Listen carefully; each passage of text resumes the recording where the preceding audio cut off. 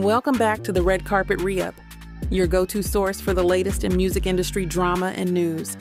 Today we've got a heated topic to dive into. Cam'ron and Mase have fired back at J. Prince after he tried to back them down over their criticism of boxer Shakur Stevenson. It's been a wild ride, so let's break it down.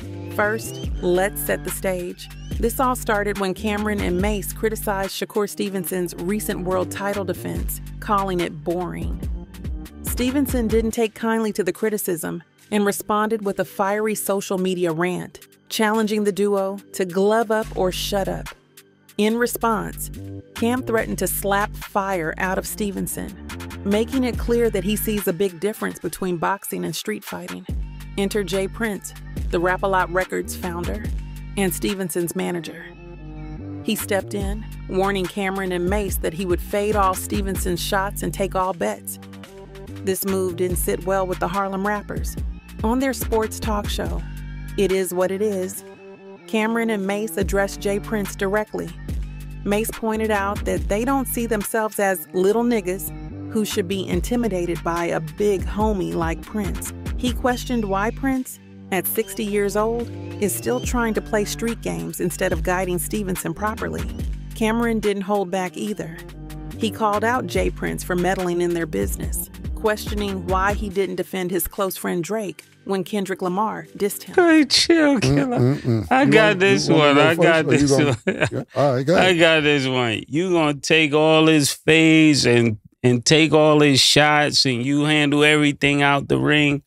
All right. So then we talking to you then, all right? we starting with you. Since you the big homie, we starting with you. That's how it goes around here. Um, I, I want to just start off by saying you are so like lacking self-awareness. Like when you when you give such a lackluster performance and then you think you can make threats to people because you gave a lackluster performance, pause. You don't have the right to tell me what I should like or to tell Cam what he should like. That's that's not your place. Like art is subjective, right? So if art is subjective and I don't like something, you you can't really get mad at us because we don't like something. And you're standing there with two, I mean, two Hall of Fame boxers that are constantly letting their hands go. So I think is is crazy that Andre Ward let his hands go.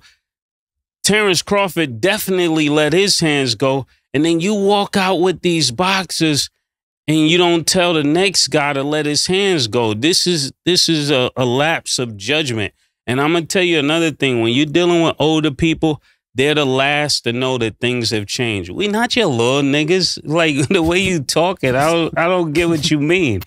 We're not your little niggas. Like for real, all that big homie stuff, that's for little niggas. Little niggas have big homies. We're not little niggas, so we don't even respect big homies. I know Killer doesn't, and for me, I never respected niggas in the streets. That's why I always got the problems I got. Niggas would tell me, Mase, chill. No, chill for what? Who is this nigga? That's how I feel listening to this, man. Like, I want to respect you, but I can't. And I'm going to tell you why. Because if I got a little, like the dudes that raised me, if I was out of pocket, they would tell me I'm out of pocket. They wouldn't let me put them on a crash out mission. They would say, yo, Mase, listen, listen. Mhm. Around here, we don't send niggas to do nothing for us.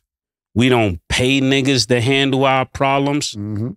You got to put in your own work around here, Lord, man. That's what you was supposed to tell them. You can't go out here and talk crazy and then send me on a mission. Mhm. Nah, this is where the game got messed up when young niggas started sending old niggas out. And just cause this little ignorant nigga got a few dollars, he make all of you that's supposed to be real run after his mission. Mm. This is a problem, J. Prince. And I'm gonna tell you like this: if you're 60 years old Mm. and you're trying to be a street nigga, you failed. You failed. You failed. You failed. I'm telling you this. And uh, I, I'm I stand. My name is Mase. I stand by this message. So what happened is Saturday night, I guess they interviewed him, and they was like, "Yeah, is everything cool with you and Mason?" with Mason Cam and all that, da, da, da. Fuck them bitch ass niggas. Them niggas are still bitch ass niggas. Ain't nothing changed. This is what he said Saturday night. This is a week after the fight. So the niggas who run my social media page, our social media page, they got the same uh, humor that we got. Yeah. they start putting up pictures of him when he's crying the Olympics, whatever, whatever. The next day is when J. Prince just say what she wrote. Hey, yo, my man, listen, James, let me explain something to you, bro. May said it exactly like you 60, nigga. You 60. What are you talking about? What are you, bro? I lost mad respect for you because I used to have mad respect for you.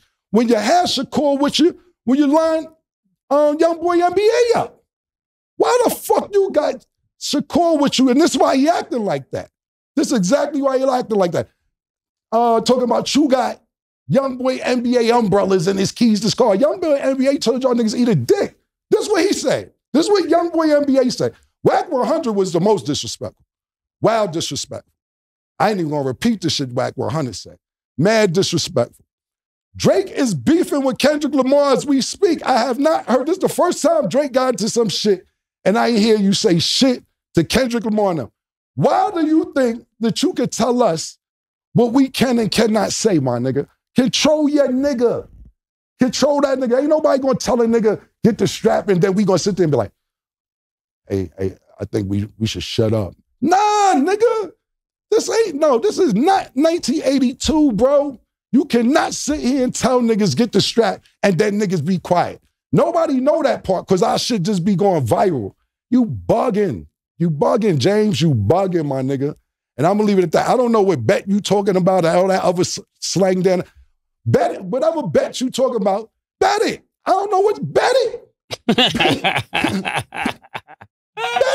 You wanna, you wanna bet it, bet? I don't know what to bet it. Cam also reminded everyone of Prince's past issues with NBA Youngboy, expressing his disappointment in how Prince is handling things. Cam'ron challenged Prince's authority, making it clear that they won't be silenced. He even suggested Stevenson step up and fight Teofimo Lopez if he wants to prove himself. This feud is far from over, and it's clear that Cam'ron and Mase won't back down from J. Prince or Shakur Stevenson. We'll be keeping a close eye on how this drama unfolds, so make sure to stay tuned for more updates. Thanks for watching. If you enjoyed this video, don't forget to like, share, and subscribe for more exclusive content from the Red Carpet Re Up. Until next time, keep it locked here for all your music industry news and drama.